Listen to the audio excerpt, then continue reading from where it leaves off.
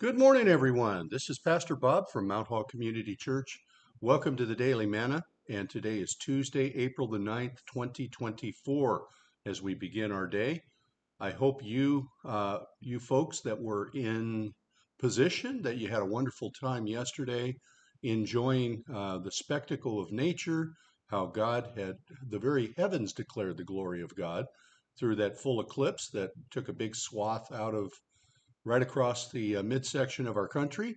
So I hope you got a good glimpse of it and that you used proper care and didn't burn out your eyes. So I want to take this opportunity really quick to point out something to you. I've seen this a long time now over the course of my lifetime where planets will align or there'll be an eclipse or one thing or another and a lot of people come out of the woodwork and they start to uh, attach prophetic significance to these celestial events. This is no different than what Nimrod did in uh, at the Tower of Babel. So be very, very cautious. And all these people that claim to be prophets, now that this has not not come true, where they were predicting the, the rapture or one thing or another to happen, now we know that they are false prophets, and the Bible says to have nothing to do with them to ignore them. So mark it down in your books, mark it down, and don't be swayed by this. There are enough prophecy in the Bible itself uh, that we can keep keep uh, keep busy with that. Let alone uh, trying to uh, divine significance out of uh, planets lining up or eclipses or one thing or another. So now all these people that said that the rapture was going to happen because they predicted it as soon as they predicted it, if Jesus was going to come back at that time, you can pretty much eliminate it because the word says, only the Father knows the hour and the day, and he will tell the Son, go get your bride, go get the church. So they've eliminated it. No man knows the hour of the day, not even the angels, not even Jesus. Only Father God knows that. So enough said about that. Uh, mark it down, and when somebody starts to, uh, on the next heavenly event, they start to say, well, this is going to happen or that happened. I've seen it for a long, long time. That's why I kind of said, nah, I don't know. We'll see. We'll see. Nothing else has to happen in prophecy before Jesus returns to get his church. Yeah. Amen. All right, let's open in a word of prayer and we'll see who we have with us here this morning. Dear Heavenly Father, we come to you in Jesus' name. We thank you and praise you for this day and for this time. I thank you for all my brothers and sisters that are diligently searching the scriptures and searching your word. And Lord, we look for your soon coming return. And we are expecting it literally at any moment where you come back and we meet you in the clouds. So, Father, let it be right now. Let it be today that you do this. let the world think that we've been kidnapped by space aliens or whatever it may be that they're going to say. But Father, we ask Maranatha, come and get us. And in the meantime, Lord, we carry on. We occupy in your business until you come. Father, open up the word to our eyes. Give us eyes to see right now, ears to hear your voice. And we ask it all in Jesus' holy name. Amen. Let's see here. Good morning to Renee Zimmerman, watching in Beaumont, California. First one in the house on YouTube. Good morning to Robin Moore, Robin and Daryl, uh, short timers. Those of you that don't know, Robin and Daryl, longtime North Idaho residents. We've known them a long time and we love them dearly. They are getting ready to retire and they're going to be moving from North Idaho all the way down to Florida. And so we hope that they stay on Daily Manna. Uh, we're going to miss them and we're sad, but we're also excited for them. Yes, Robin, we need your address so that we can drop in on you. Just kidding. anyway, everybody show some love to Robin and Daryl. Good morning, you guys. Good morning to Kathy Lee Crandall, watching from Idlewild, California. Good morning to Sue Robinson, watching from Hayden, Idaho. And she says, Good morning. I got my implant. So far, so good. Trying to get used to it. So praise the Lord. Glad that went well, Sue. We're rejoicing with you. Uh, good morning to Fred and Tara Zobel up at the tip top of Idaho. Hello, friends. Good to see you. There's Daryl. Good morning, Daryl Moore. Good morning to John and Mindy Temblador watching in far north Idaho. The Tremors are in the house. Good morning. Good morning to Melody Smith watching from Apple Valley, California. Good morning to Mike Pogvera watching from northern Illinois. And Mike says, Morning all. Jesus is coming again. Yes, he is, and very soon. Robin says, please pray for me and Robin. We are going to Florida tomorrow. They are having tornado, I guess, tornado warnings for three days. So, Father, we come to you in Jesus' name. We lift up our friends to you. We pray for traveling mercies. We ask that you would protect them, go before them, strengthen them, lead them, and guide them. And I pray everything would go well on the, the uh, purchase of their new house. Lord, we ask that you would bless them, Lord, and uh, just take care of them on the road. And we thank you and praise you, Lord. We ask it all in Jesus' name. Amen. Okay, switching over to Facebook. Good morning to Judy Pogvera, watching in Northern Illinois.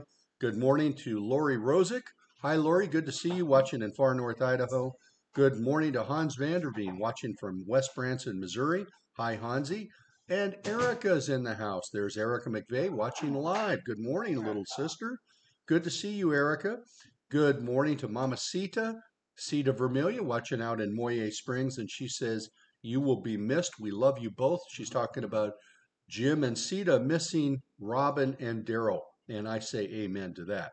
Good morning to Diane Hankey watching in Sandpoint, Idaho. Good morning to Marcella Poole and Bill Poole watching in Oak Hills, California. And she says, 69 degrees here in Oak Hills. Beautiful. Wow. Oh, rub it in. Rub it in. Enjoy. Just kidding. Good morning to Jim Vermillion. He says, Nice shirt, brother. You're heading in the right direction. Thank you. Everybody was giving me a hard time on Sunday because I wore one of my flannel shirts, and everybody knows me in my Hawaiian shirts. Thanks, bro. So I think I think we'll be in Hawaiian for the most most part going forward. Good morning to Nelda Kenzel watching in Western Washington. Um, hi, Mom. Good to see you. Good morning to Polar Bear, Pola Snell, watching in Redlands, California. Uh, Pola says, That's a relief about the rapture. Thought you all left me behind. No, we wouldn't leave you behind, Pola. I wanted to make a joke about that too yesterday. We only had, I guess we got a partial up here, and I went out right at 11:36, which was supposed to be the prime time for Idaho, and it was just like a sliver. And I pointed my camera phone up at the heavens, and I got a beautiful picture of the sun through the clouds, but I couldn't tell anything. That was as good as it got. So I, I thought, I wonder if we're only going to have a, a partial rapture here in North Idaho. Just kidding. No, of course there was no rapture. And like I said at the start of this this podcast, be very very aware. This won't be the last time because we'll have another heavenly event and all these guys come out of the woodwork. They think they found something. There is prophecy in the Bible uh, that we can be concerned about. But nothing else has to happen before Jesus returns for his church. So the minute that somebody goes to predict when the rapture is going to be, you can pretty much take it to the bank. It's not going to happen then. So good joke though about the the rapture. Everybody was joking about that yesterday. And the sad thing is, is people who are unbelievers, they joked about it and they thought, well, this is just more foolishness. There's nothing to that Christianity stuff. So they actually don't do us a service. Those that make these false predictions, they do us a, a great disservice and they also draw people away from the gospel of Christ um, because of all their hooey. Good morning to Linda Letterhoss, watching up here in far north Idaho. Hi, Linda. Good to see you. Good morning to Chrissy Brown and the Brown family, watching from far north Idaho. And she says, Good morning, everyone. Today is the day the Lord made. Amen. And it's a beautiful day out there. Good morning to my Cheryl. Morning. Good morning to Claudia Jackson, watching in Western Washington. And who else do we have? Good morning to Bob and Karen Eddie, watching in far north Idaho. Good morning to Don Blackeny, watching in Boring, Oregon. And Don says, We survived. Amen. We all did. Uh, good morning to, let's see here, Yvonne Jett, one of the first in the house, watching from Apple Valley, California. And good morning to Randy Ralph. He says, Shalom, shalom. Brothers and sisters, good morning, Randy. And shalom, shalom to you. And that is like the perfect peace of God when you say shalom to shalom, shalom, shalom to somebody. Good morning to Howard and Alicia Pierce, watching up here in far north Idaho. Good morning to Josephine Delacruz. Hi, Josie, also in North Idaho. And Diane Hankey, watching in Sandpoint. Good morning. Good morning to Ken and Cheryl Madsen, watching in Grand Terrace, California. Good morning to Gil and Linda Hernandez, having coffee with the Hernandezes. Good morning. Good morning to Becky Hughes, the first one in the house over on Facebook, watching from North Carolina. Good morning to all you guys. Let's see here. Somebody else commented. Good morning to Ingrid Glenn. Hi, Ingrid. Good to see you this morning. And good morning also to Natasha Ollinger, watching in far north Idaho. Diane Hankey says news said next eclipse will be 2034. I heard one yesterday. We're talking on Fox News. They were saying 2044, so 20 years. Who knows? There'll be other eclipses, no doubt about it. That's the point. They happen all the time. They really do. They're not that uncommon. Good morning to Claudia and Moses Mackay watching in Apple Valley. Claudia says, Good morning, everyone. Love you all, and we love you too. Good morning to Maureen Maxwell. Hi, Maureen and Richard. Uh, good to see you in there. Where are you guys located now on your RV adventure? Give us an update. And Linda is praying for safe travels. Oh, I see the prayer request. Chrissy Brown. She says, Brian and I will be heading out for a quick vacation tomorrow. Driving, not flying, we would really appreciate prayers for traveling mercies. Let's pray for the Brown family right now. Father, we come to you in Jesus' name. We lift up Brian and Chrissy and Olivia, Vivian, and Elijah. We ask that you would watch over and protect them, that you would bless them, give them traveling mercies, keep them safe on the road. Lord, I pray that their conversation and what they do in the car, playing games, that it would be a blessing for all of them, laughing and giggling, I pray where they go on vacation that you would bless their time, recharge their batteries, and then bring them safely back to us again. We lift up this beautiful family to you. We love them so much, and we ask that you would take care of them because you love them more. We ask it all in Jesus' holy name. Amen. Good morning to Doc Bartlett. Hey, Doc, good to see you watching from the great state of Texas. And good morning to Nancy Noble watching up here in far north Idaho. Hi, Nancy and Mike. Good to see you in there. And let's see, did I miss anybody else? There's Lucille Spindler. Hi, Lucille. Good to see you in there. Good morning to Kim Hensley, watching in Flowery Branch, Georgia. Hi, Kim. And I thought I'd seen somebody else and I might have overlooked it. Let me give it one more quick look. Uh, good morning to Marcella. Mar excuse me, not Marcella. Mark Perret. Hi, Mark. Good to, good to see you watching from Western Montana. Miss you, brother. Good to see you in there as well. Okay, let's dive into God's Word. And right after I say amen this morning, Cheryl and I have to be on the road. I have doctor's appointments down in Spokane and Coeur d'Alene today. Deuteronomy chapter 33, as we're drawing to a close in Deuteronomy. We're almost done. We're not done today. We will be done tomorrow, and then we go right into the book of Joshua. So Deuteronomy is the last book of the Levitical law, if you will. First five books of the Bible. You have Genesis, you have Exodus, you have Leviticus, you have Numbers, and you have Deuteronomy. And from that point on, after that, Joshua, it becomes like a history book in a large sense, talking about the, the children of Israel going into the promised land and the conquest. And from there, we go into Judges, the time of the judges, wicked time, and then 1st and 2nd Samuel. So let's continue here. Deuteronomy chapter 33, verse 1. Now, this is the final blessing of Moses. This is the blessing with which Moses, the man of God, blessed the children of Israel before his death. And he said, The Lord came from Sinai and dawned on them from Seir. He shone forth from Mount Paran, and he came with ten thousands of saints. From his right hand came a fiery law for them. Yes, he loves the people. All his saints are in your hand. They sit at your feet. Everyone receives your words. Moses commanded a law for us, a heritage of the congregation of Jacob, and he was king in Jeshurun. Now, when I saw that, I'm like, okay, God is king in Jeshurun. What is Jeshurun? So this is one of those moments, if you have a blue letter Bible, or if you're using a Strong's Concordance, you look it up. And Jeshurun just means my beautiful little people. So God is king of his beautiful little people, which would be Israel. And of course, that would be Israel in their perfect state, in their perfect state. So I draw this to your attention not to show that I'm so smart, but to point it out to you because I'm not really that smart.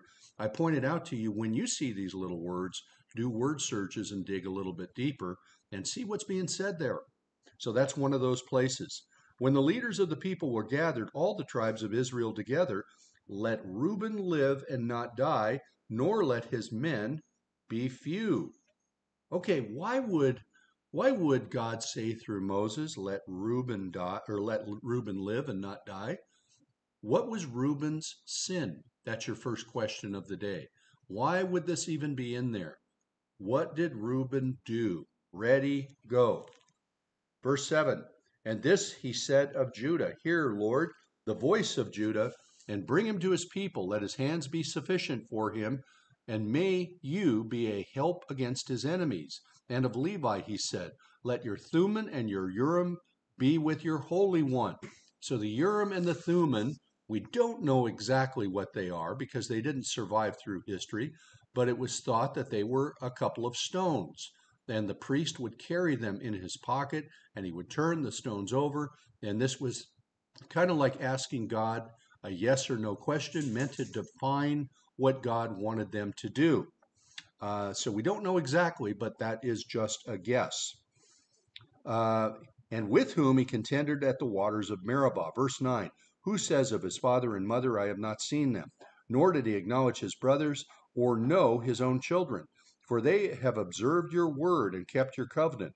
They shall teach Jacob your judgments and Israel your law. They shall put incense before you and a whole burnt sacrifice on your altar. Bless his substance, Lord, and accept the work of his hands. Strike the loins of those who rise against him, and of those who hate him, that they not rise again. So that's talking about we've we've talked about Judah, we've also talked about Levi here, and Levi the priestly tribe. Of Benjamin, the Benjamin, Benjamites end up being the smallest tribe in Israel. And there's a there's an event that's going to ha- take place in Judges when we get there. This is why they become the smallest tribe of Israel. So, of the Benjamites, we see the first king of Israel rising, King Saul. And later on, we see another guy, also from the tribe of Benjamin, Saul of Tarsus, who ends up becoming Paul the Apostle from the smallest and beloved tribe, the youngest son of Jacob. The beloved of the Lord shall dwell in safety by him who shelters him all the day long, and he shall dwell between his shoulders and of Joseph, he said. So if you count up all the tribes, all the tribes of Israel, you actually end up with more than 12 because you have Manasseh, you have Ephraim, those are half tribes. They come from the line of Joseph. Oftentimes, Joseph is left off on the counting, but here he's included. Blessed of the Lord is, is his land. With the precious things of heaven, with the dew, and the deep lying beneath, with the precious fruits of the sun with the precious produce of the months, with the best things of the ancient mountains, with the precious things of the everlasting hills, with the precious things of the earth and its fullness, and the favor of him who dwelt in the bush, like the burning bush. Let the blessing come on the head of Joseph, and on the crown of the head of him who was separate from his brothers. His glory is like a firstborn bull, and his horns like the horns of a wild ox. Together with them he shall push the peoples to the ends of the earth. They are the ten thousands of Ephraim, and they are the thousands of Manasseh. Now, both these sons, these were sons of Joseph, but they were adopted by Jacob. They were adopted by Israel. So, hence, you see Manasseh and Ephraim, they're included in the 12 tribes. We also see Joseph named here. so, let me stop there at verse 18 real quick. What did Reuben do? What did Reuben do? Good morning to Bob and Diane Bell watching up here. What's that? He was a naughty boy. Sorry. Oh, Reuben? Yes. Good morning, Bob and Diane Bell. I got off track there for a second. So let me go over to Facebook. Nobody's answering on YouTube. You guys wake up on YouTube. All right. Good morning to Sandy Moniz watching in far north Idaho. Sandy and Mike, good morning to you. And let's see. Rob Murray says the Urim and the Thummim turned out to be Joseph Smith's hat, laughing out loud. No, they weren't. So, all kinds of goofy stuff, if you come from a Mormon background, like the Murrays and like I do, that Joseph Smith twisted the Word of God. Matter of fact, the Book of Mormon was based largely on the Old Testament of the Bible, and he twisted a bunch of stuff. So, the difference between the Bible, again, you have 66 books written by 40 different authors. in three different languages over a 2,000 year period on three different continents, as opposed to the Book of Mormon written by one man, and it's one book, and nobody ever saw the manuscripts, written in a language that never existed, using a pair of magic sunglasses that nobody has ever seen. So you see the difference. Also, Joseph Smith in his background, if you look at his history, he was arrested a couple of times for fraud and he actually went down in a blaze of glory when uh, he was arrested before the wagon train or the handcart, I should say, went across to the west to what is present day Utah or Deseret, as it was known back in the day. So Bob is making a funny. Uh, let's see. Judy Pogvera says slept with Bilhah, so incest, or basically uncovering his father's nakedness. Yeah, you're not to you're not to sleep with your father's concubine because not only is that wicked and evil, and it uncovers her nakedness, but it also uncovers his. So good job, Judy. Becky Hughes uh, slept with his father's concubine. Linda Hernandez, you got that one right as well. Jim Vermilia, correct. Sita, correct. And there's Rob Murray saying, Good morning, Pastor Bob. Travel and mercies for you as you travel to and from Coeur d'Alene and Spokane. Thank you so much. Appreciate your prayers, gang. Becky Hughes says, Kids can be a nightmare on vacation but you should let them go back home with you. I agree. That must be towards the Browns. No, no, she's making um, a funny against the Maureen. She's leaving the kids. Oh, I see. Okay, I haven't got there yet. Sorry. Good morning to Mike and Cheryl Conklin watching in far north Idaho. Hi, guys. Maureen says, just leaving the kids in Florida and heading home. We think we're taking I 10.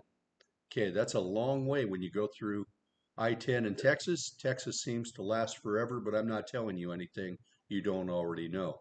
So safe travels. Let's pray for Mike and, or excuse me. Oh, I hate when I do that. Um, for Maureen and Richard, I beg your pardon. Old habits die hard. Uh, Mike, her first husband, went home to be with the Lord several years ago, and we have known uh, Maureen many, many years. So that's ingrained in my memory banks. My apologies. So, Father God, we lift up our dear friends. We, rift, we lift up Richard and Maureen to you. We pray that you would bless them, watch over, and keep them safe on the road, that you would bring them safely back home again to Apple Valley. And Lord, I just ask that you would bless their time together and bless all they touch. And I pray it all in Jesus' holy name. Amen. And the kids in that case that they're leaving in Florida, they're adult kids. That's uh, Dakota and his wife Sierra. Pardon? No, it's it's Dakota. Dakota, and Sierra. Yeah, yeah, sorry, you're right. Yeah. yeah. yeah. I got it right, and Cheryl's correcting me. uh, good morning to Efren Villaluz. Nice to see you in there, Efren. I believe you're watching from Seattle, Washington. Top of the day to you, brother. And let me get back down to the bottom. oh, Randy says, praying for answers and good results. Thank you, Randy. I appreciate that. This is a different uh, set of doctor's appointments. Today I'm going for my yearly eye test to get my prescriptions renewed. And I do have like a suspect area on my nose. I have to go see the dermatologist. Uh, Rob says, Your explanation is why I laugh out loud was making a joke. Amen. And I, I laugh at it too. Okay, let's continue on. So, anyone that said he slept with his father's concubine, there's Fred and Tara popping in with that as well. You're absolutely right. That is two gold stars. Tuesday, what do we do on Tuesday? Maybe coffee and donuts. I don't know. Maybe, uh, or Taco Tuesday. It could be tacos. That's right. It is Taco Tuesday. That's what it is. Verse 18 And of Zebulun he said, Rejoice, Zebulun, in your going out, and Issachar in your tents. They shall call the peoples to the mountain, for they shall offer sacrifices of righteousness, for they shall partake of the abundance of the seas and of the treasures hidden in the sand. So these areas, Zebulun and Issachar, these are up around the Sea of Galilee, and they also, their tribal areas will end up being right along the Mediterranean, ballpark in there. So right near the sea. Also, the Sea of Galilee, the treasures there, that's where most of the fishermen go. Uh, the fishermen of Israel. And the Israeli people are not known as a seagoing people. They're just not. And Randy is coming in with some good street tacos. Thanks, bro. Appreciate that.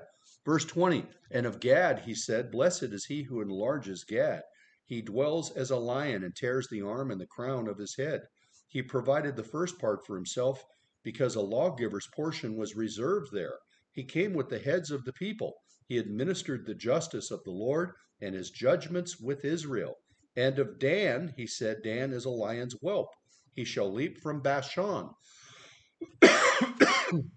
and of Naphtali, he said, O Naphtali, satisfied with favor and full of the blessing of the Lord, possess the west and the south. Now, Naphtali is, Naphtali is kind of a neat thing because where Jesus grew up, that would have been in the tribal area of Naphtali. And of Asher, he said, Asher is most blessed of sons. Let him be favored by his brothers, and let him dip his foot in oil. Your sandals shall be iron and bronze. As your days, so shall your strength be. There is no one like the God of Jeshurun. There it is again, meaning my beautiful little people, who rides the heavens to help you, and is in his excellency on the clouds. The eternal God is your refuge, and underneath are everlasting arms. He will thrust out the enemy from before you and will say, Destroy. Then Israel shall dwell in safety, the fountain of Jacob alone, in a land of grain and new wine. The heavens shall also drop dew. Happy are you, O Israel! Who is like you, a people saved by the Lord? The shield of your help and the sword of your majesty. Your enemies shall submit to you, and you shall tread down their high places. What's a high place? What's a high place? What does it mean by treading down your high places? Ready, go. Now, one more thing as we complete our Deuteronomy. What are you saying, Cheryl? Ask Reuben. Ask Reuben about the high places. Yeah, it was a high bed. It was probably a four poster bed. Uh, but I'm stopping right there. Okay, so you see here, this is all blessing, the blessing of Moses upon the people. And we know that there are tough times yet ahead for the nation of Israel. But God sees be- beyond that tough time. He sees all the way into the millennial reign, the millennial reign of Christ when Israel will be completely restored, all their borders, all the blessings, the earth will be returned to the time when it was before the great flood, when everything was perfect. And that will be for a thousand years. So God has seen Israel how they will be. He's looking past all the tough stuff, all the all the judgments that are going to take place on the nation of Israel. So we're going to land the plane there on our Old Testament reading. I'm going to check your answers in just a second. And in the meantime, welcome to the Daily Manna if you've joined us for the first time. This is the one year Bible along with some commentary. We meet here every morning at 8:30 a.m. Pacific on Facebook, YouTube, and on our church website located at mthallcc.com. And we go line by line and word by word through the scripture. We, I also want to acknowledge our ministry partner, Truthcasting. So if you go to stream.truthcasting.com, you will also see that our live streams are there. They also maintain a library on demand that you can go to at any time, and they are responsible for splitting our stream between all the platforms. We're grateful for them, and this is a Christian organization. It's designed to help pastors like me and pastors of churches all over the place so that the wokeness of the culture that we live in right now cannot shut churches down or their voices. So if I get shut down on one platform, the idea is you can go to another. And if both Facebook and YouTube goes goes down, we'll st- still be on our website and we'll still be on Truthcasting. So bookmark all those places where you know to go to find daily manna. Also, if you check out on our website, in addition to lots of sermons and studies and good stuff on there, in, in addition to what we do on Sunday morning or midweek, Mount Hall also uh, sponsors Trail Life and American Heritage Girls as well as Spires of Wisdom, our home homeschool group. Uh, we firmly believe in training up the next generation for Jesus Christ. And if you look under the link that says Daily Manna Reading Schedule on the website, you will also find a link for a calendar looking page for every month of the year that will tell you where we're going to be at any given time. Now, in between our Old Testament reading and our New Testament reading, where we are right now, this is where we say good morning and hello to our young people. Before I do that, I'm going to acknowledge your answers here. What is a high place? Bob Bell says places of worship to worship foreign gods. Very good. That is correct. So Israel is going to stomp those down, destroy them. Only the, the worship of the one true God will be when that's finally realized. Claudia Jackson says idol worshiping places. Absolutely right. Judy Pogvera says I'll be flying to Texas tomorrow. Family reunion. I am praying for you and testing. Thank you very much. Let's pray for Judy for traveling mercies as she's flying. Father God, we come to you in Jesus' name. We lift up Judy to you. We ask that you would keep her safe on the road going to the airport, whether she's going to O'Hare or Midway. We ask that you would bless her, keep her safe. We ask that you would bless her in the air, that you would bless her time with family, and then give her traveling mercies back home again. Watch over and protect them and keep them safe and bless their time together. And I ask it in Jesus' name. Amen. All right. Becky Hughes says, cutting their idols down to size, very good. Judy Pogvera, it's an elevated place used for idolatry, idolatry, correct? Linda Hernandez, destroyed the idol worship areas. Good job. And good evening to Samuel Mombashi watching from Tanzania, East Africa. Good evening to you, Samuel. And let's see, Randy was handing out rewards for there. So anyone that said idol worship, place of idol worship, also right.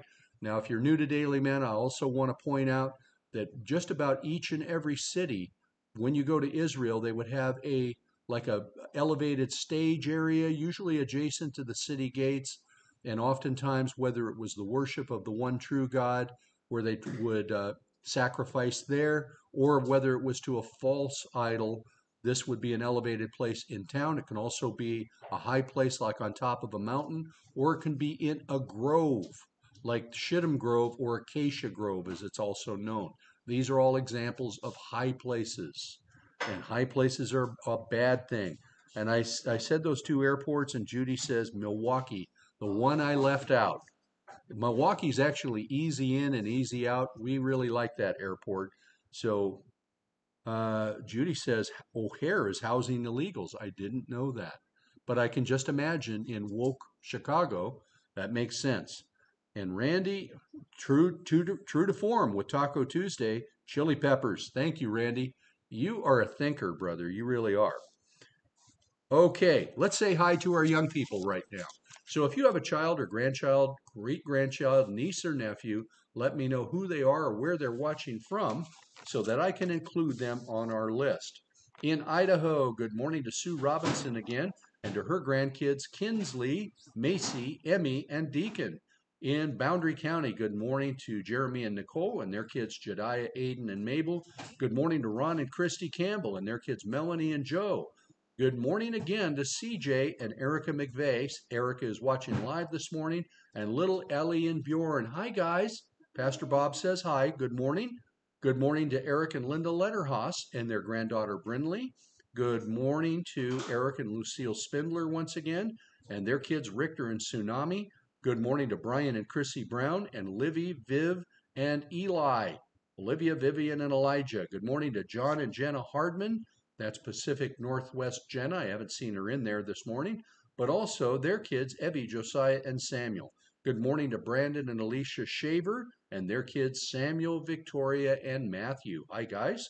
Good morning to Randy and Laney Ralph and their grandkids, Luke and Noah, the giblets up on Cactus Ridge. Good morning to Frank and Diane Hankey and their grandson Boomerang watching from Sandpoint. Good morning to Dave and Stephanie Wood and their kids Hunter, Ryder, and Flynn. Good morning to Cody and Shauna Dawn, the writers, and their kids Gavin and Kennedy. Good morning to Sarah Falk and her daughter Addie. Good morning to Fred and Tara, also Don and Jana. Uh, they're adults, but I've got them in on the kids anyway. Good morning to Bob and Tatiana Hargrove and their daughters Victoria and Emily in South Carolina. Good morning to Renee Moore and her daughter Mallory, excuse me. Good morning to Heidi and Aaron Kendall in Alpine, Wyoming, and their kids Carson and Nora. In Topeka, Kansas, good morning to Leah McGahee and Bala. In Boring, Oregon, good morning to Don Blackney, and good morning also to Elaine Baker, that's Shauna's mom and dad. In California, good morning to Dave and Lisa Baptist in Apple Valley and their daughters Lainey, Freya, and Kennedy. In Grand Terrace, California. Good morning to Ken and Cheryl Madsen and their granddaughter Aubrey. Good morning to Terry Lockwood and Hannah and Rachel, her daughters. Good morning to Letitia Jordan and her sons Elisha and Isaiah. Good morning to Crystal Reese and her kids Caleb, Elijah, and Savannah. Good morning to Ernie and Amanda Joy Custodio and their kids Jason, Lala, and Lexi. Good morning to Pastor Andrew and Jackie and their kids, Karis, Judah, Titus, and Malachi, the Fergusons.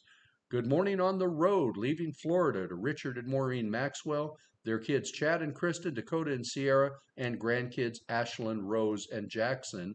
Ashlyn, Rose, and Jackson are still in Apple Valley. Good morning to Cheryl Lady and her grandson, Jax. Good morning to Tony and Judy Meston and their grandkids, Liam, Kylie, Shelby, Peyton, and Samuel.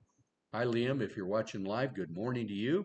Good morning to Sandra Baxsky and her kids, Grace, Hope, Ezekiel, and Mercy. Good morning to Sarah Suiters Reinschchild and Nathan Tucker and Easton. And Nathan is on the road again. And I guess they're continuing on with Agents of Christ, going on the mission field once again. So keep those kids in prayer. Good morning to Lako and Jessica Vaher, watching from Livermore, California, and their son Brody.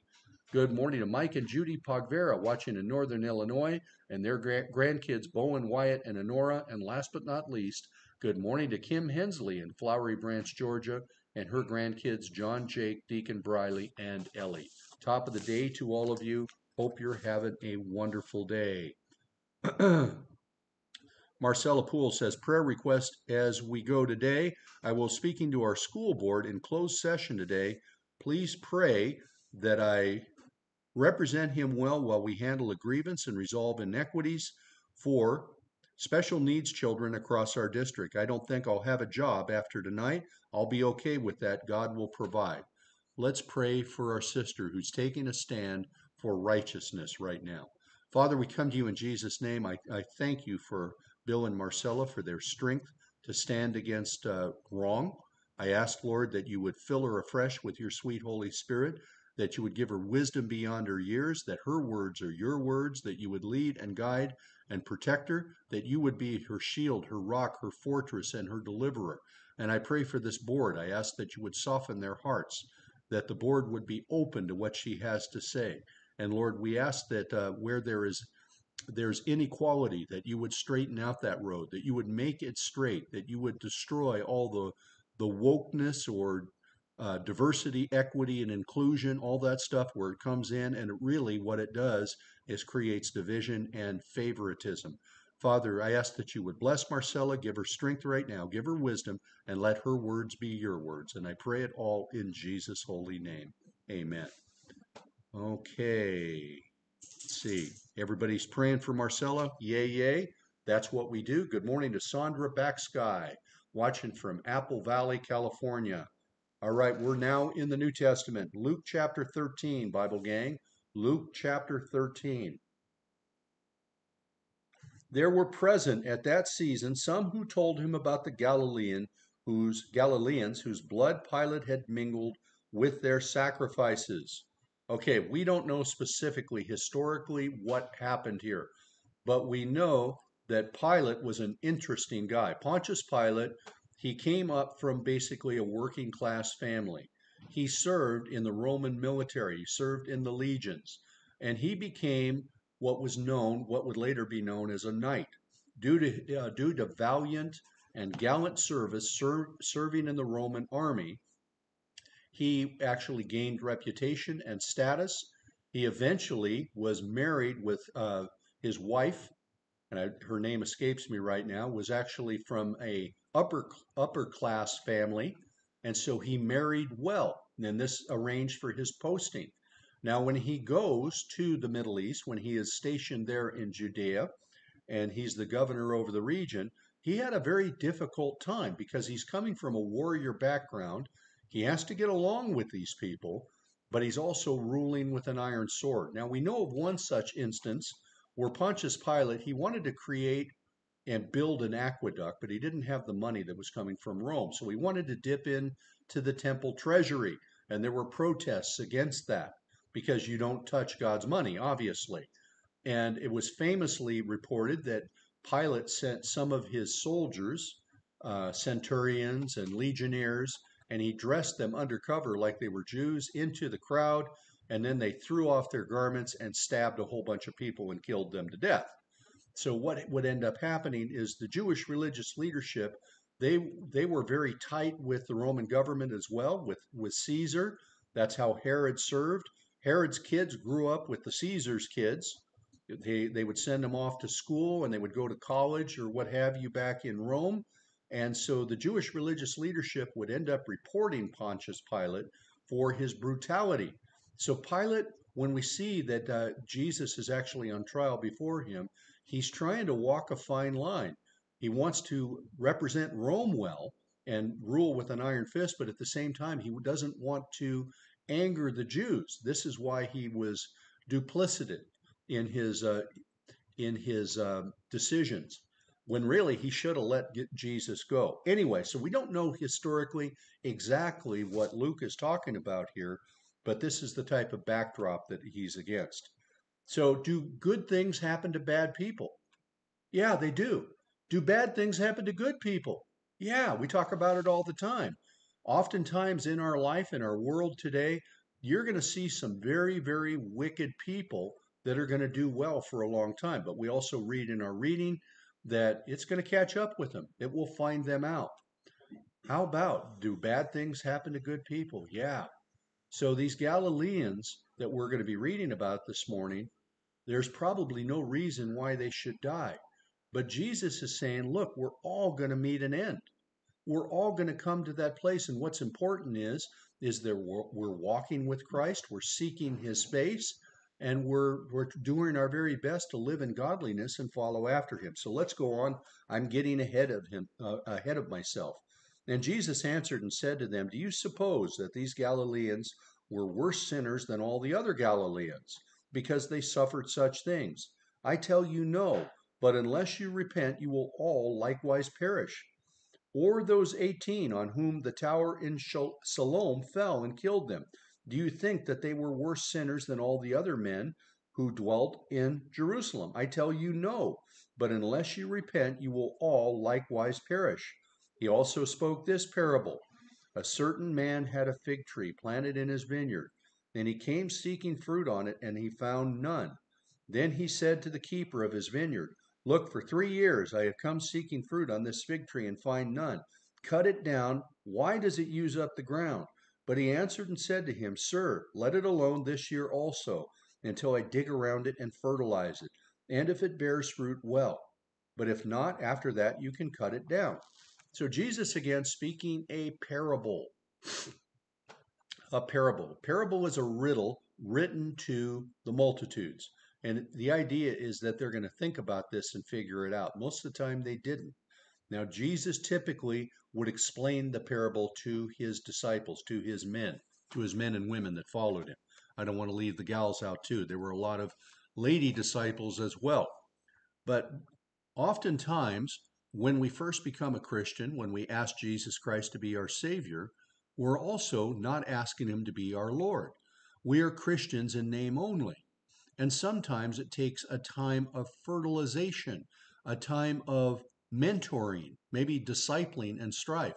And remember, out of our word disciple, we get our word discipline, like getting a spanking from our parents when we did something bad. Now, Jesus in this parable, he talks about fertilizing the ground. What do you fertilize the soil with? Poop. When you're going through a growing process as a Christian, when you're being mentored and discipled and you're growing stronger in the Lord before you get to that place where you uh, actually start to produce fruit in your life, a lot of times it's going to feel like you're buried in poop, like you're buried in manure. And who wants to be around manure? Maybe you step in dog poo out in your backyard. I do that all the time with the two knuckleheads we have here. I have to go out there and pick it up. But occasionally, one of those landmines, it finds me or even turkey poop. And I know you guys in North Idaho, you can relate to that. You don't see it all the time. And we don't like to be in poop, do we? But sometimes that's what's necessary for the fertilization to take place, for the spankings to take place before, as Christians, we come to produce fruit. Good morning to Sarah Thomas, watching from far north Idaho. She says, Good morning, family. God is good. Amen. Cody Ogie's in the house. Good morning, Cody. Good to see you the other night. It's nice to have you back with us on Daily Manna. And Cody, everybody, if you haven't already heard, she is leaving Mount Hall. She's moving. Her and her husband are moving back down to Kootenai County. And Cody, I hope you continue to tune in on Daily Manna. We will miss you and the girls. Let's pray for Cody and the girls right now. Father, we come to you in Jesus' name. We lift up our sister to you. We lift up your daughter. And we know that you love her even more than we do. We ask that you would guide and protect her and her husband, Evan, that you would keep them safe, Lord, that you would plant them in their new church, whatever church they choose down there. I think they're going to Rathdrum, but I'm not sure. Lord, I ask that you would bless them, lead them, guide them, protect them, that you would plant them in your word and establish them in the faith. And keep them safe, Lord. They're still part of the family, they're just in a different branch now. We thank you and praise you. We look forward to that time when we were we all are going to be together with you in heaven around your throne and there will be no more separation from us. We ask it all in Jesus holy name. Amen. All righty here. Who else do we have? There's Shauna Dawn. Good morning, Shauna Dawn. And I think I'm caught up. Sue Gibson says, Good morning. We are traveling to Kalispell now for Bruce's appointment at the VA for his lungs. We will catch up what we can as long as we have reception. So, Father, we come to you in Jesus' name. We pray for Bruce and Sue. We ask that you would keep them safe on the road. I pray that everything goes well at the VA, that you would lead them, guide them, protect them, keep them safe. And Lord, bless their time together. And I ask it all in Jesus' holy name. Amen. Okay, so I hope that makes sense about this fruit tree where it bears fruit. The God will do the same thing in your life as he did in mine. Oftentimes, through that mentoring process, through that stretching and discipleship process, it's not always fun, is it? But God will grow us to where we are producing fruit in our life. Sometimes it's painful. Verse 10 Now he was teaching in one of the synagogues on the Sabbath. And behold, there was a woman who had a spirit of infirmity 18 years, and was bent over and could in no way raise herself up. Notice here, this is a synagogue. This is a synagogue. A synagogue means that if they're like if it's in a small town, there must be if there's at least 10 Jews in that town, they must build a synagogue. It was typically the they tried to get the tallest building or the highest point in the town with at least one window that faced towards Jerusalem. Now this takes place in the synagogue and we see this woman has a spirit of infirmity. This spirit probably a demon. This is where we're talking about demon possession here. Now where is she at? She's in a holy place, right? She's in a synagogue, an assembly, a gathering together of believers. The word that's used for synagogue, synagogue is actually a Greek word, but the Hebrew word uh, that corresponds to it is Knesset. The Knesset is the assembly, that's the parliament of today over in Israel. So, Knesset or assembly or a gathering together. And the idea is they're like minded. Do we have evil that will come into our churches? Yeah, we do. There are evil people that come into churches. I just read a uh, story it was on Fox News this morning that the FBI arrested a young man down in, uh, I believe it was the Coeur d'Alene area, that planned to carry out terrorist attacks on behalf of ISIS last Sunday in churches or in a church in North Idaho, in the Coeur d'Alene area. I'm not sure which one exactly. I don't really know anyone anymore in the FBI where I could even find out, but I did share that that information with local pastors so they're aware.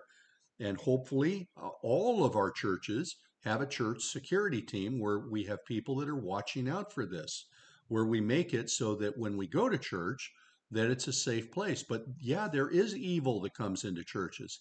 Not everybody that goes to church is a Christian, are they?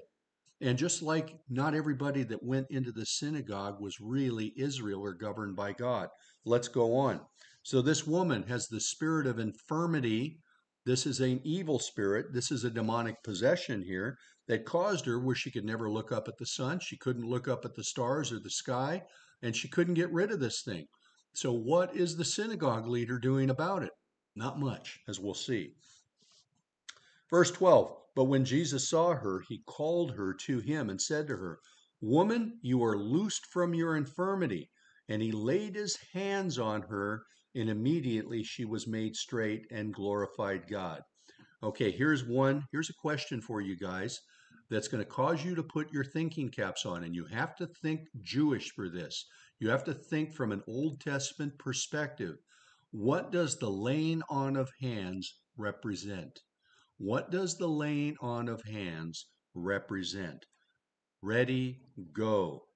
And Cody says, Amen. Thank you. We will miss you all, and we'll miss you too. Good morning to Brenda Barber. Hi, Brenda. I forget where you're watching from, but welcome to the Daily Manna. Nice to have you back. And good morning to Leah McGahee, watching from Topeka, Kansas. Okay, so what does the laying on of hands represent? Now we know Jesus didn't need to lay hands on this woman in order to heal her, he could speak it forth, but there's a reason why he does this. Verse 13, and he laid his hands on her, and immediately she was made straight and glorified God. But the ruler of the synagogue answered with indignation because Jesus had healed on the Sabbath. Now, by the laying on of hands, he had touched her. Therefore, he is looking at it, the synagogue leader, as a work that he had actually broken the Sabbath law by lifting a finger, kind of like when they punch an elevator button in Israel. And he said to the crowd, There are six days. He doesn't say this to Jesus, he speaks to the multitude. There are six days on which men ought to work. Therefore, come and be healed on them, and not on the Sabbath day. The Lord then answered him and said, Hypocrite. Hypocrite, again, an actor, somebody who is two faced. Two faced. Does not each one of you on the Sabbath loose his ox or donkey from the stall and lead it away to water it? So ought not this woman, being a daughter of Abraham, so she's Jewish, uh, and the law was supposed to lead the Jewish people into a close relationship and walk with God, whom Satan has bound, think of it, for 18 years be loosed on this bond on the Sabbath. So this indicates to us this woman was lost in her sins. She was following the law, but with the wrong heart. She was not walking after what God would want her to do, and she she was demon possessed. This this infirmity was of Satan. This is not just a regular infirmity. Satan is behind it. Uh, let's see. Verse 17 And when he said these things, all his adversaries were put to shame. And all the multitude rejoiced for all the glorious things that were done by him. Then he said, What is the kingdom of God like? And to what shall I compare it? It is like a mustard seed, which a man took and put in the garden, and it grew and became a large tree, and the birds of the air nested in its branches. And again he said, To what shall I liken the kingdom of God? It is like leaven, which a woman took and hid in three measures of meal till it was all leavened. So when sin comes into a synagogue, when sin comes into a church, and it's in one person, oftentimes, if it if it's allowed to continue, that leaven's going to spread to the whole batch. This synagogue or gathering together of believers or thought to be believers, it really was a den of iniquity, if you will. Now, no doubt when this, this demon left this woman and she was healed and she was saved, by the way, um, at that point, probably the demon went into the synagogue later, leader because he didn't even have the courage to address Jesus to his face. Instead, he does what a what a coward does. He tries to rally the crowd around him. Okay, so what does it mean by the laying on of hands? And again, uh, this you have to think from a Jewish perspective, an Old Testament perspective, uh, if you really are, are looking at this. So Sita says to bless them or to bless this woman, and that's part of it. That is certainly it. And let's see, I'll come back to your prayer request, Sandra. I see it there. Let me answer the or look at these answers real quick. And Nelda Kenzel guesses and says, The Holy Spirit. Not quite, not quite. Think Old Testament here. Uh, Alicia Pierce says, Taking the sin away. Now, if you're talking about the laying of hands, and you would lay hands on a sacrifice like the scapegoat, that would be transferring the sin onto that animal, and then they would let the scapegoat loose. and would go out into the wilderness. So that could be in that avenue. Judy Pogvera says anointing, Holy Spirit bless. Uh, Judy Pogvera says anointing. Okay, so I think I might have stumped you a little bit. So remember, when like in December when I when I retired from being senior pastor at Mount Hall Community Church, and then I laid hands on my replacement. I laid hands on Pastor Jeremy and myself and all the elders prayed for him. It was a passing of the torch, but it also brings them into the ministry. So this woman who had been demon possessed, she becomes a believer. She glorifies God. And I know this is a stretch, but I want you to see the figuratism here. By the laying on of hands, he Jesus didn't need to do this to heal her because he had done it before. He had just spoken people healed. But he actually brings her into it where the synagogue before had been a place where no one was a believer. Now this woman was a believer and God is glorified. I don't think that synagogue leader would be there very long, but Jesus makes a he makes an analogy here. And he says, what is the kingdom of God like? And to what shall I compare it? It is like a mustard seed, one of the smallest of the seeds.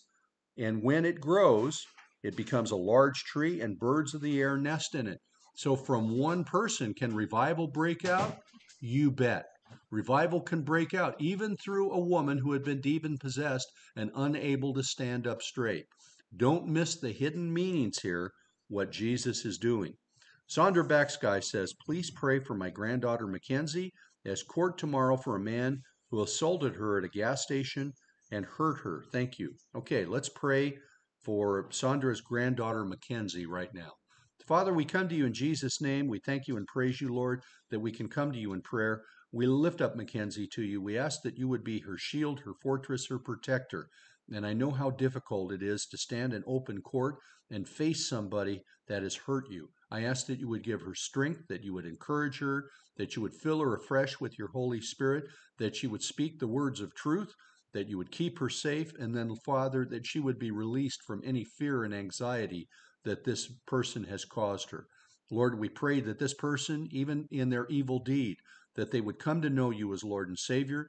But Lord, we ask that also that justice would be done here, that you would take care of your daughter Mackenzie, that you would protect her, and Father, we pray that the right thing is done and that you would also give the judge wisdom behind, beyond his or her years. We thank you and praise you, Lord. We ask it all in Jesus' holy name. Amen. So, Sandra, please keep us updated. Please keep us updated. So, like if you're saying bless or anoint Holy Spirit, that's part of it. But don't miss the bigger picture also. Jesus can do a mighty work even through one person. Okay, let's continue on in our, our reading. Turn back to the Old Testament again. Psalm 78. Psalm 78. And we pick up at verse 65. Then the Lord awoke as from sleep, like a mighty man who shouts because of wine, and he beat back his enemies. He put them to a perpetual reproach. Moreover, he rejected the tent of Joseph and he did not choose the tribe of Ephraim.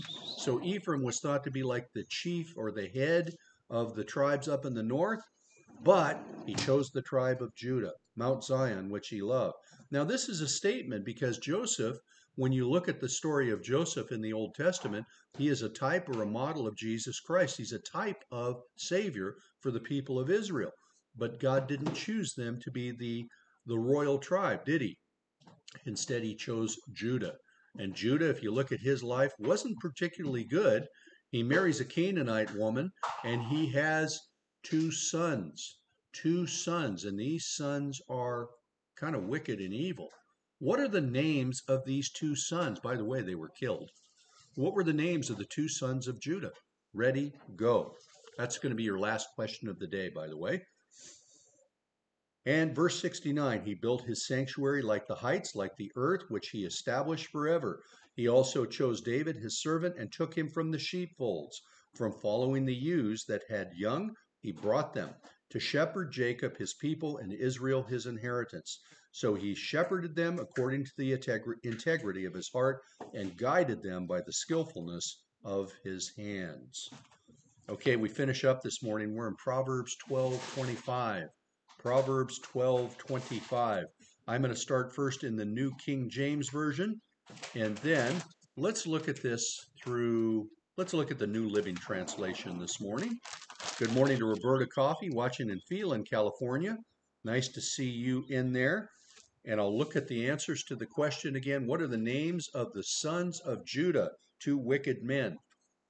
Proverbs 12:25, first through the New King James Version. Anxiety in the heart of man causes depression, but a good word makes it glad. Let's look at that now through the New Living Translation, Proverbs 12 25.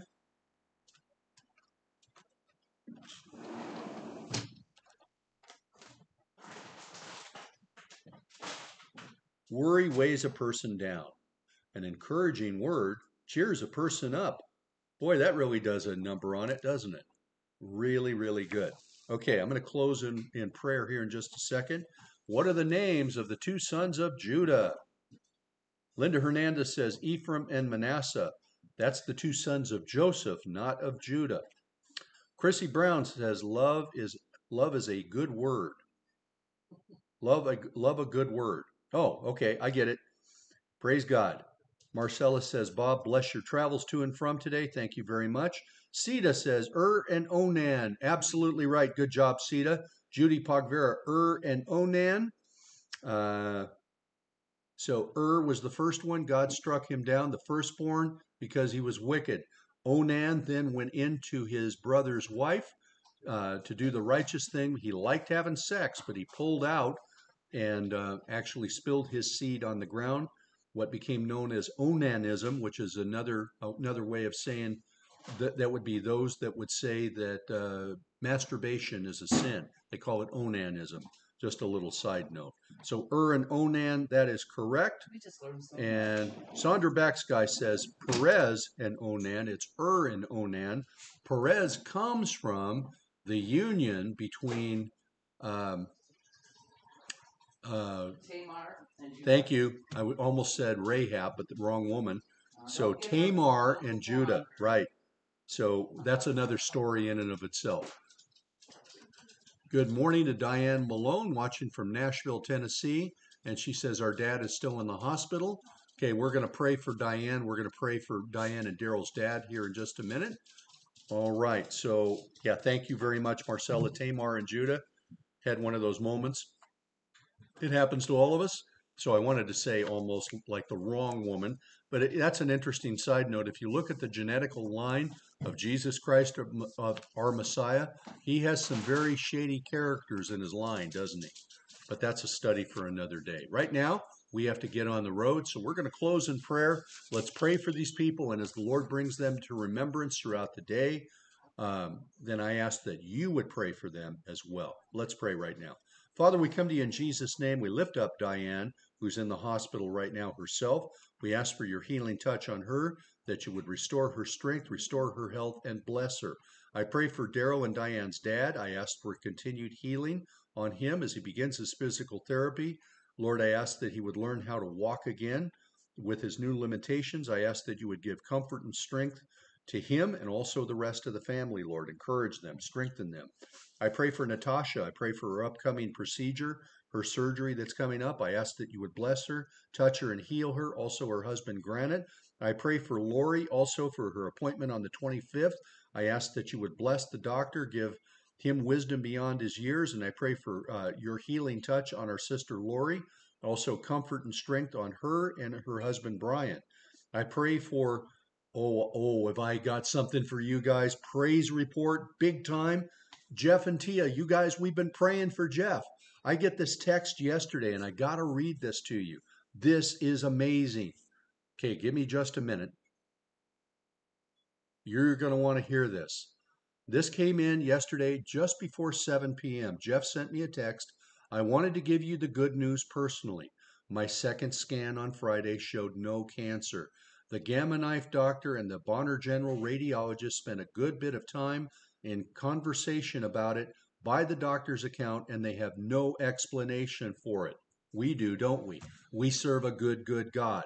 Two scans, a week and a day apart. I saw the results myself from the, the first and saw nothing. I can explain it though, and I know you can too. Praise God. Miracles are real. Prayer has power. Nothing is beyond his ability. They want me back in three months for another scan to follow up. We serve a God that heals. We serve a God that hears our prayers. Miracles still happen today, Bible gang. Okay, let's go on. So we praise the Lord for Jeff's results. Continue to pray for him and his family. He is just rejoicing right now, and we rejoice with him, don't we? Good uh, Lord, we just pray for Sabi in Southern California. We pray for healing of her cirrhosis of the liver. We pray for baby Carter, Lord. We need another miracle here. Heal this little girl supernaturally, completely, just the same way that you healed our brother Jeff. Lord, heal her and then bring her parents to salvation. I pray for Don Mason. We need your healing touch on him, both for the cancer and also for his salvation of his soul. I pray for JoJo Murray. Lord, we need another healing here. Completely touch, minister, heal, and touch her, strengthen her. And I pray for comfort and strength for both her and her husband, Rob.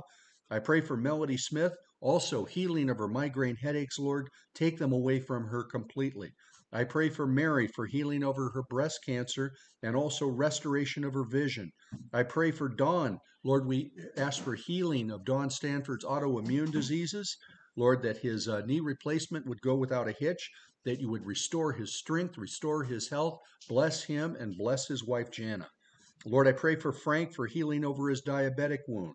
I pray for Caleb and Casey and Riley for healing over Duchenne's. We need a big miracle there, Lord. I ask that you would be glorified and magnified, that you would heal these three little kids, and that, Lord, that they would sing your praises. I pray also for uh, these three little kids, for their mom, Danielle, that you would restore her faith, that you would strengthen her, bless her, draw her back into fellowship. Also, her daughter, Michaela, Lord, strengthen them in their walk with Jesus Christ. I pray for our, our uh, sister, Yvonne Jett. I pray for complete healing of her lungs, that you would restore her strength and restore her vitality and her health. I pray for Hans, our brother in Missouri. I ask that you would comfort and strengthen and heal him, also the kids and the grandkids. Lord, I pray for Kevin and Aaron Green at Calvary Chapel, Fort Bragg, that you would comfort and strengthen and heal them, also their kids, Amy and Tyler. And Father, we pray for your defense and your protection of your people, Israel, of the nation of Israel. We pray for the peace of Jerusalem. We ask, Lord, that our nation would stay out of their way and just support Israel because you tell us clearly in your word God blesses those who bless Israel and curses those who curse Israel. Lord, protect them. Let our people here in the United States not believe the lie. And Father, we pray for a future and a hope for our country. We pray, Father, for your soon coming return. Maranatha, Lord Jesus, come quickly, we pray. And we give you our lives today as living sacrifices, holy and acceptable to you which is our reasonable service. We thank you and praise you, Lord, and we ask it all in Jesus' holy name. Amen.